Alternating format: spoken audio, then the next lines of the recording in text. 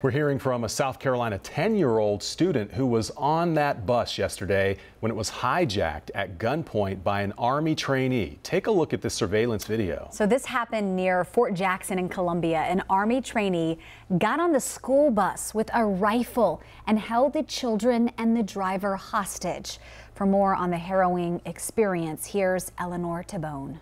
It is the moment 10 year old Keandre James will never forget. I heard yelling and cussing at the front of the bus, and it was um this man. He was he had an, a gun, and he was pointing at a bus driver, telling him, "Close the doors, go, go, take me to the next town, hurry up." The moment 23 year old Jovan Collazo hijacked his school bus. I called my mom and told her that we would be that everybody was on that bus was being held hostage. The sheriff's department say after six minutes, kids began coming to the front of the bus and started asking Collazo questions. He was saying the F word. He was saying, close the doors, go, go, take me to the next town. What the 10 year old did next will astound many. He told us to get out, but before he told us to get out, he told everybody to move up to the front, but I was still talking to my mom and my dad. So I put my phone on silent and I put it in my pants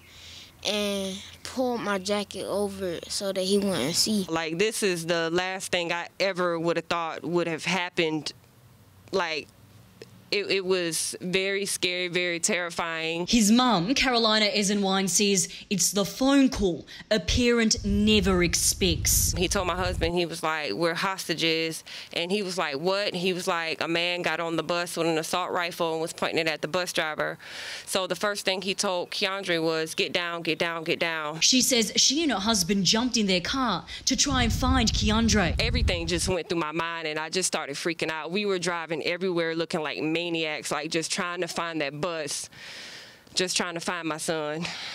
I really panicked when he wasn't answering my phone calls or my texts anymore. When she finally got in touch with her son, I got on the phone with Keandre. Keandre was like, um, he made everybody get off of the bus. And i was like where are you? He's like we're down the road by this store. And then that's where we saw all the kids on the side of the road with the police officers relief set in. I always make sure he has his phone. I make sure he charges his phone at night before he goes to bed. And i am so proud of him. So proud of him. We have been calling him a hero all day. As for this courageous young man his only concern was for those younger than him riding that bus too. We still are kids, but they was young, young, but they was supposed to witness that. I'm going to let him ride the bus tomorrow.